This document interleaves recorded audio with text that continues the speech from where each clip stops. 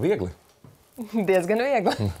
Imants Ziedoņa fonds Viegli 85. dzimšanas dienā aicina uz ne jau piekto apbalvojuma laiks Ziedonim laureātu cildināšanas ceremoniju ar cilvēkiem, kuriem piemīt dzēnieka Ziedoņa liela enerģētiskā vilkme un spēja strādāt sabiedrības labā, tiksties arī jūs šovakar Latvijas televīzijas tiešraidē no Liepājas koncertzāles Lielais dzintars. Tas būs pusdesmitos vakarā.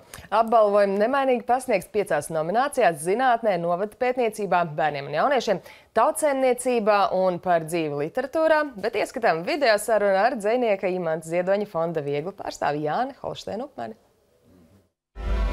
Šī būs piektā laika ziedoņa ceremonija, un uh, mēs būsim skaisti apbraukuši visas Latvijas jaunās koncerta zāles.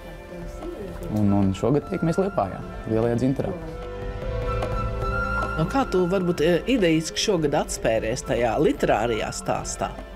Es atspēros ārkārtīgi negaidītā virzienā, jo mēs gatavojam epifāniju tulkojumus angliski, un līdz ar to mums katram bija dots uzdevums vismaz vienu epifāniju ieteikt, kuru viņš gribētu iztulkot.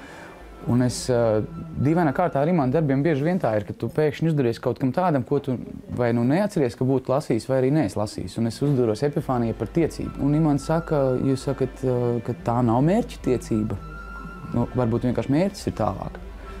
Un, uh, tas man ārkārtīgi uzrunāja par šo tiecību un virzību, ko mēs īstenībā varam attiecināt uz visiem laureātiem un arī uz nominantiem. Un šī gada fokus bija um, cilvēki vadugunis, cilvēki, kuri ar savu darbu izgaismo ceļu citiem cilvēkiem.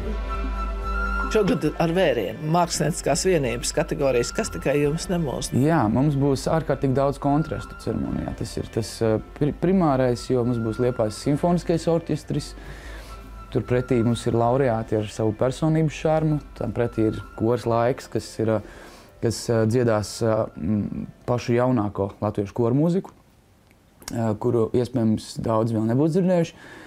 Un ārkārtīgi daudz šo te pretējo, pretējo vienību plašums pret tādu ļoti detalizētu skatījumu uz lietām.